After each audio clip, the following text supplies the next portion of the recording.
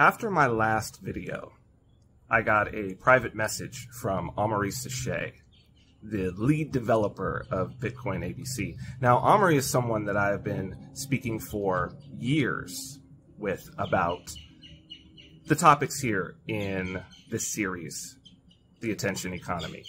And he's a very interesting person to speak with because before he was the lead developer of Bitcoin ABC, before he was the creator of Bitcoin Cash, before he was the creator of eCash, he spent years working at Facebook.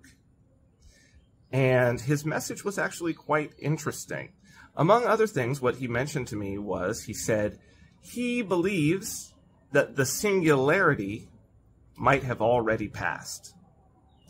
Since this video is going to be about machine learning, a little discussion of the singularity will probably help to put things in context. And it'll also, it'll also explain why I think it was rather interesting and notable that Amaury, someone who had worked at Facebook, one of the main companies that is using algorithms, machine learning, and artificial intelligence, why it would be interesting that he would say that he believes the singularity may have already passed. Okay, so maybe we can start with machine learning, just a quick overview of what is this idea. Because remember, I had said in previous videos, and if you haven't seen those, please go check them out.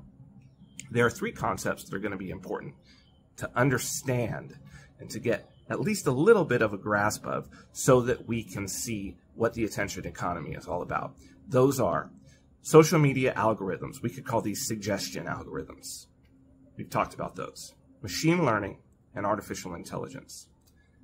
Machine learning, in a nutshell, it is the idea that you can create a program, a piece of software, that is not limited by its program, that can learn and improve itself much in the same way that we human beings do. So this is a step toward intelligence. Now, it's not maybe complete sentience because you would see, oh, well, I can train a dog, I can train a cat. There's lots of different animals that I can train to be better than they were before. Human beings are a little bit different.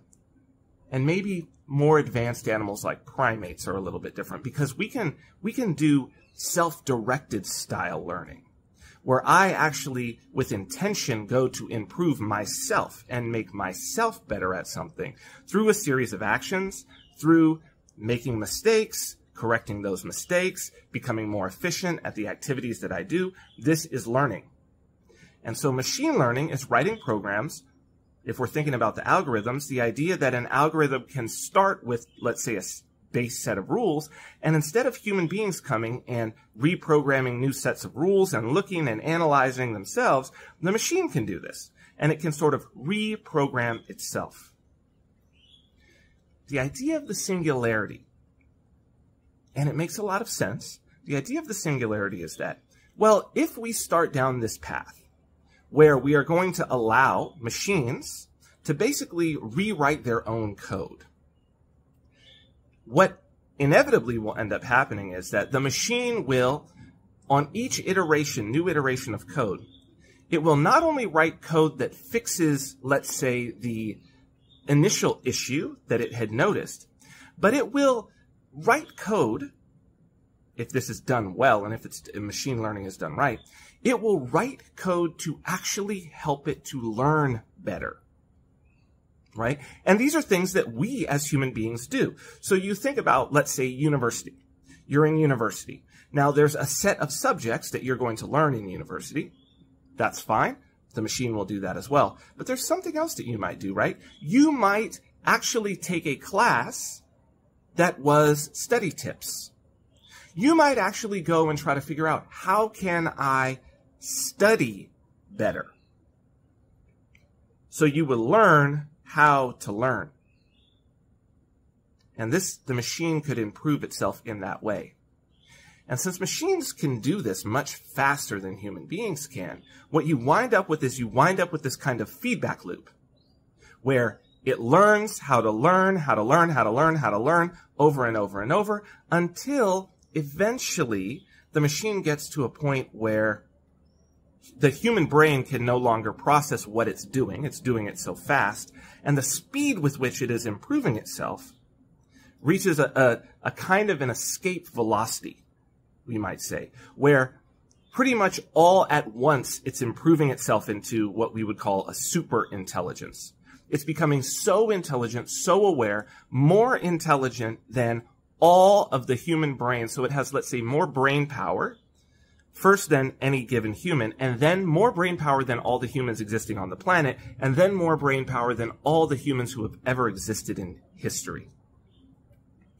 And the time it takes for it to make each new jump is exponential, right? So each new jump that it's going to make the time gets shorter and shorter and shorter until it's basically instant, and that's the idea of the singularity.